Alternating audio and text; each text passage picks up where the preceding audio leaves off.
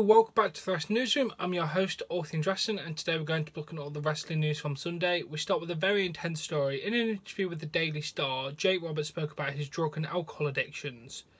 He said, I was pretty destined for that. It ran in my family. The actual reason it happened was because I was still hiding. You can't spend your life hiding. You really can't. It's very hard to go through life be, having been sexually abused and tried to keep that hidden from everybody. I was ashamed of being molested. I was ashamed where I came from. It was horrible.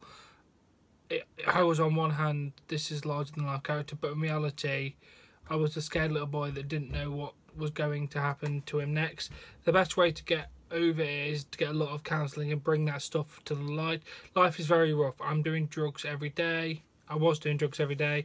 I was doing cocaine, drinking at least 12 beers a day. I did cocaine and forgot. Then, and then I did the alcohol to come down from the high of cocaine. It was total misery. I was waiting to die and actually wanting to die. I was tired of living that way. I was so ashamed to be out in the public eye. I didn't go out to dinner during the day. I only went late at night, sometimes three o'clock of three or four o'clock in the morning to get food and stuff. I didn't want anyone to recognise me. I started to work out while I was doing DDP yoga every day. I wasn't eating crap anymore. It had been so long since I'd been healthy. It was insane. I was 310 pounds, and then with a very short time, I dropped 20 pounds in like five weeks. It was a spark I needed to live again. DDP yoga gave me the opportunity and the need to dream again. Even when I had a shoulder injury, I didn't give up. I wanted to, but my addiction was saying to me, "You're not worthy of having a good life. You sh- your shoulder's screwed up. You don't have the money to have surgery. You're going to wind up with me again. Your only buddy, your addiction. Addiction wanted me to fail. It doesn't want you to be successful. It doesn't want you to be happy. It wants you dead. That's what it wants. But in less than 24 hours, we had enough money to take care of my shoulder. I couldn't believe it. And one day, fans stepped up and showed how much they cared. It was still so surreal. I didn't think it would ever gonna happen, not because of what I did inside the ring, but because of what I've done outside the ring. The Hall of Fame was a fabulous moment to have many of my children and grandchildren with the induction was great. It seemed like full circle. I'm back where I belong and it's good to smile again. Uh, I want to pause in this for just one second. This is a positive way to look at it. He's thinking about it as an actual thing, trying to cause problems. So that's the best. I think that's the best way to beat it. Think of it as a physical thing that you need to defeat, and that that's probably the best way to think about it. But he also has advice to people about addiction problems. First thing I have to say is get honest with themselves and people around them and seek help and get the right plan.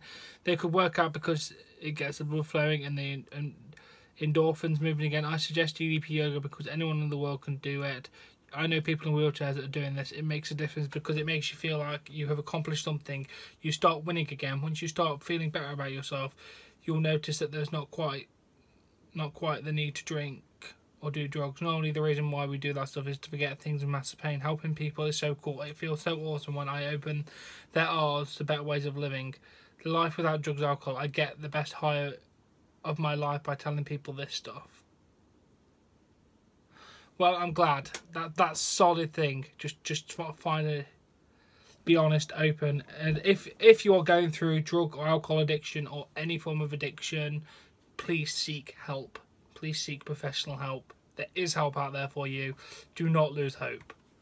Uh, let's move on to um, Alexa Bliss talks about the pressure of being a WWE superstar. I fully accept the fact that if I'm going to do a career like this, I'm have to willing to take criticism because it's part of the job. You know, the Instagram, any Instagram thing I post, someone's going to say something. I know that anything on Twitter, someone's going to judge whatever I do, whatever I say, whatever I look like, and I understand that. But I know if they they were to ever read into that and slip back into eating disorder, if I was to slip back into an insulin, my body will not survive another one.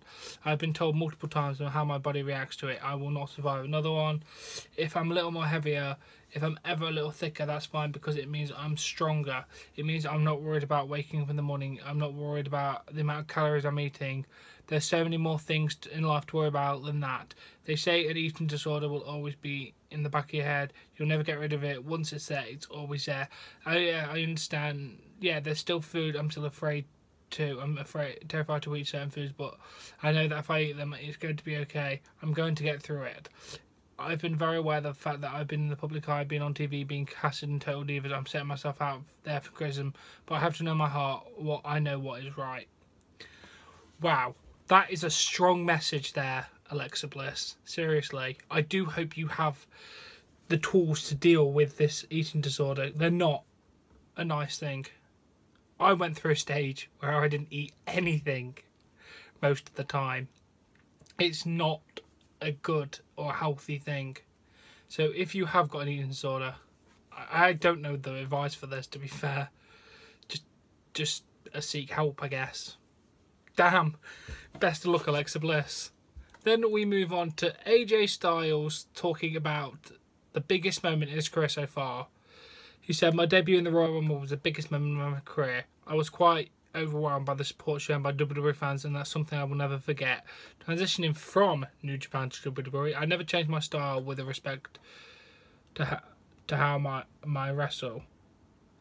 The only difference was that WWE has a lot more cameras facing you than the independent circuit, but I think that's just really a learning curve that you need to get through, and it really has helped me. If there's room for improvement, of course I have room for improvement. Look at the talent like Okada. He's one of the best wrestlers in the world and the kid's not even 30. He's won the IGP, IWGP Championship at such a young age. When you see a talent like that, it inspires you to work harder. Fair enough. He is one incredible wrestler. Uh, let's move on to Karen Jarrett comments on Jeff Jarrett leaving absence with the following message on Twitter saying, So many continue to reach out for Jeff myself. Thank you all for the love. Thank you to Ed Nordholm and Anthem for giving Jeff the time he needs and to all the fans, this 100%, this is 100%, 110% a positive for Jeff and Impact Wrestling. Fair enough. Best of luck to whatever the hell is going on with you, Jeff Jarrett. And Bobby Roode made his final NXT appearance at last night's Toronto live event. He defeated the Velveteen Dream, and it was glorious. Oh, so I had to do that. But yeah, best of luck, Bobby Roode and SmackDown. We know you'll kill it. Um, and during the past week's Raw, the announcers were recapping the cruiserweight match with when Corey Graves said the following about Enzo Amore: Enzo cheats on his taxes, cheats on his girlfriend, cheats in a tag match. NXT star Liv Morgan, who's been dating Enzo Amore, wrote the following on her Twitter account: "Me knowing that I'm single and nobody's cheating on me." Um, and Tyler Bate uh, oh, Morgan retweeted this message from Tyler Bate. I like your face. so they are split up. Seriously. Okay, well, that's good to know. And uh, Tyler Bate's going to get in there, apparently. Go for it, lad. Go for it. Now, that is the wrestling news. A lot of intense uh, subjects there, but I've I'm just been quoting what they've said. So, like I've said, just seek professional help if you've got any form of um, drug addiction, eating disorder, anything like that. Just please let people help you. It's the best advice I can give you. Now, with that being said, this has been the news. If you've enjoyed it, please give this video a like. Please support me on Patreon, link in the description below. Subscribe to see more content, and I'll catch you later.